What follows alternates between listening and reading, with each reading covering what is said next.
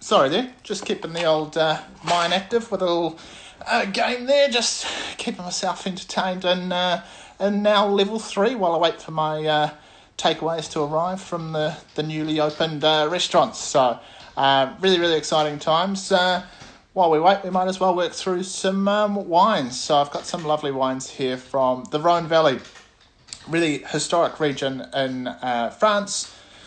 Runs really long north to south, really varied in soils, temperature, um, and we've got some lovely wines which are going to express those changes as we work our way down. So, starting in the northern Rhone, we've got the uh, Yves Cuilleron uh, with his Viognier.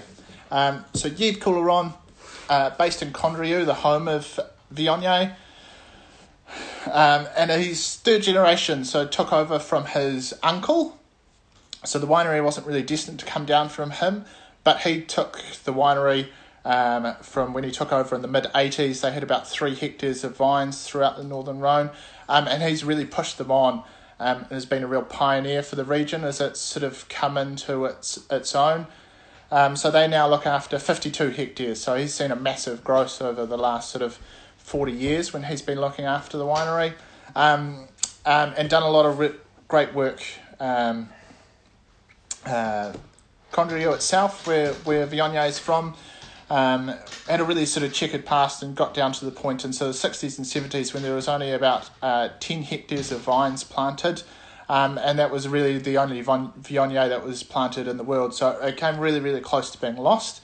Um, it's through hard work, like people like Yves, who've uh, who really got in, um, regenerated all these old um, terraced vineyards on the slopes of the Rhone River, um, and really championed Viognier as a great variety, which is now really taken off and can be seen sort of grown around the world.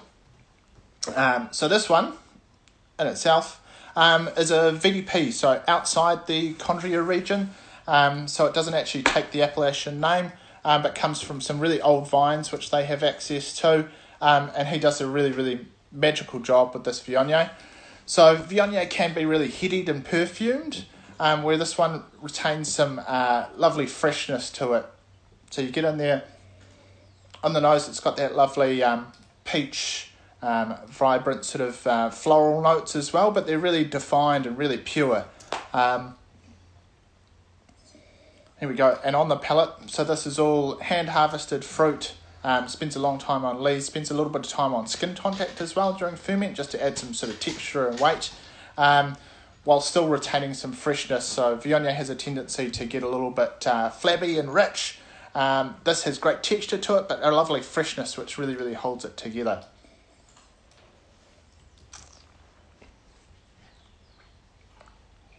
And that's the thing that really, really balances out nicely. So you get this lovely, rich, textured wine, but still retains some acid and some freshness, which gives it a lift and because it cleans the palate at the end there.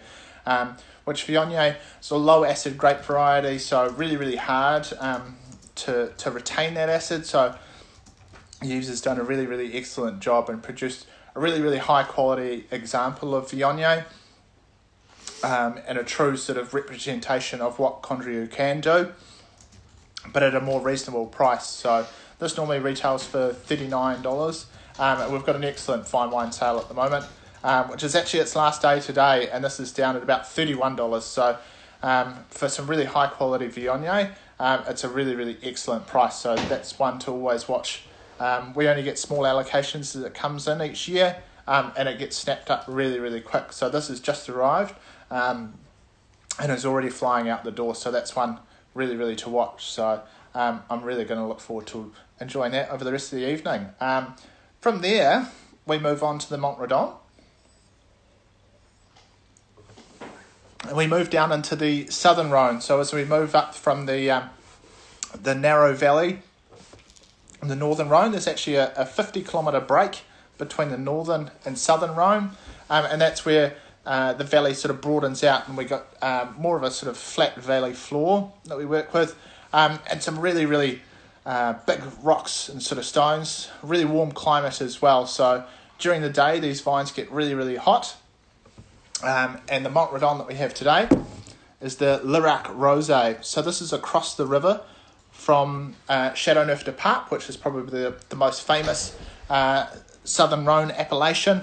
Um, and probably the really start of the appellation system in France was, was sort of based in Chateauneuf du Pape, where they sort of settled the regulations for what they wanted to do the, with the region, and that was emulated elsewhere around the region. So, uh, Mont Redon Lirac Rosé across the river from Chateauneuf du Pape. Um, this wine's a Grenache Syrah blend. Um, and southern France is obviously really well known for, for rosé. You've got uh, Provence and those sort of really light, clean, crisp sort of styles of rosé. Where this has a little bit more weight and texture to it.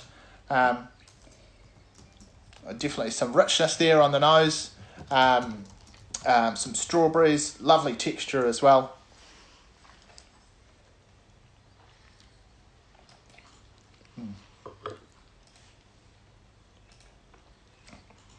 Um, the wine goes through no malolactic fermentation, but spends a long time resting on lees. So that um, no malo allows it to retain some, some really nice acidity, um, where the lees context adds that richness and that texture and really fills out the body of the wine. So this is a little bit more of a serious rosé. Um, can stand up to, to some lovely um, food pairings as well, maybe some chicken, um, even a bit, a bit of light red meat um, a really, really excellent um, style of rosé that you can really sort of move past that. Um, uh, once you've enjoyed all those lovely Provence rosé sort of styles that are clean, crisp, maybe with your lunch salad. Um, if you still feel like a, a rosé in the evening, we're having some lovely sort of evenings now. I think this would be one to, to pick. And then from there, we jump across the river, back onto the same side as Chateauneuf du Pape, and we have the Domaine Le Colombier, um, So this is uh, just around um, an appellation just around the outside of Chateauneuf du Pape um, and very, very sort of similar style. Um, so you have a lot of the same red grape varieties planted there as well. Have some. Um, so we've got Grenache and Mourvedre in this blend. Um, and Vacqueyras is a great example of how the appellation system has developed over time, um, with Chateauneuf du Pape sort of being the, the framework on which it was built for. Um, it, it really starts with, uh, in the southern Rhone, where you've got uh, Côte de Rhône, um, and then you get uh, into a sort of smaller bracket where you've got Côte de Rhône Village. Um, and then from there, Vacqueyras was a Côte de Rhône Village, and then it got moved up to its own separate appellation uh, in 1990. Um, so you move there. Oh yeah, we've got some lovely dense fruit to this wine. Uh, another family-owned winery. Um, so third generation. The son is actually a trained geologist, uh, biodynamic as well. Only organic sort of um, uh, sprays that are used here. So um, really, really great for, for the soils which they, they have there. Uh, produces a really rich sort of style, um, great with some sort of hearty stews. It's got lovely tannic structure as well.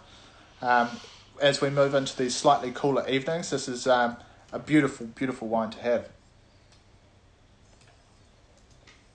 Mm.